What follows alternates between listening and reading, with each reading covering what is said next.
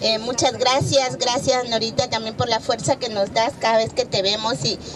sentimos tu energía, también sentimos que la lucha sigue y que tenemos que seguir.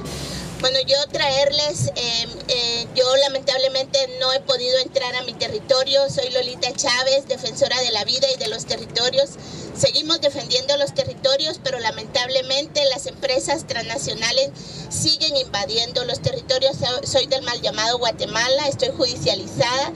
y desde el 2017 salí y no he podido entrar. No he podido entrar porque las causas y los montajes judiciales siguen en mi contra.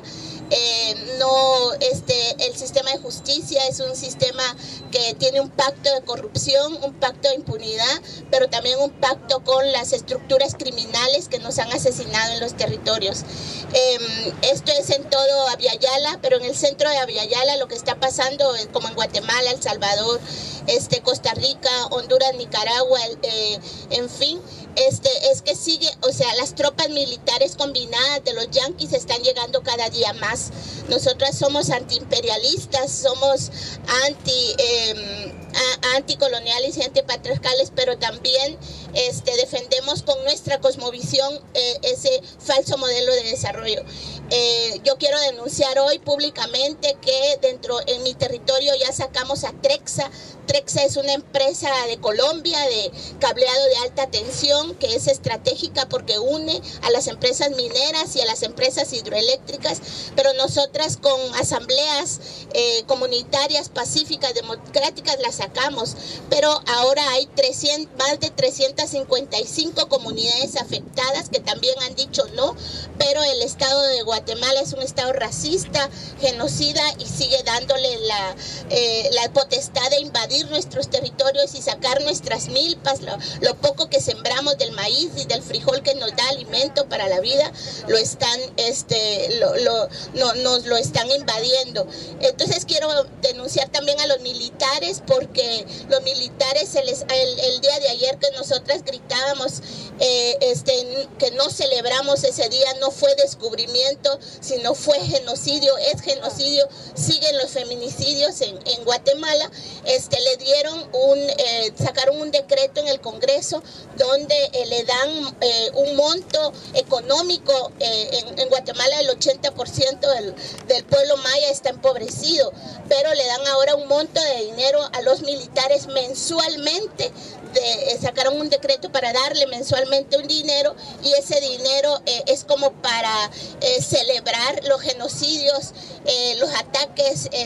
a los caibiles, a toda esa gente que son este, máquinas de terror en nuestros territorios. Y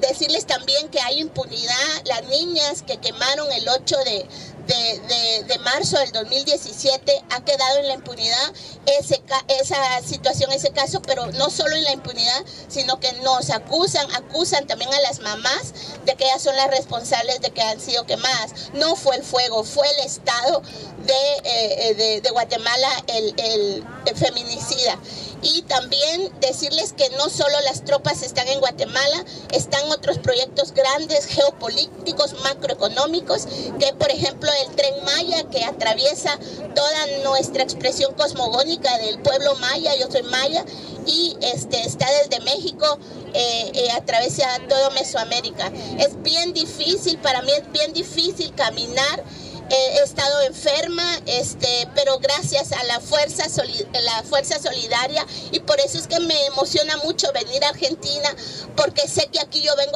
recibir fuerza, vengo a recibir energía y eso me llenó en la asamblea eh, de feministas de, de la Yala que pues cuando lo, cuando lo proclamamos pues fue fuerte porque había racismo, eh, me señalaron mucho, me dijeron India bruta, en fin, pero ahora lo celebro y sé que sané y ahora es plurinacional, es un, el 35 encuentro plurinacional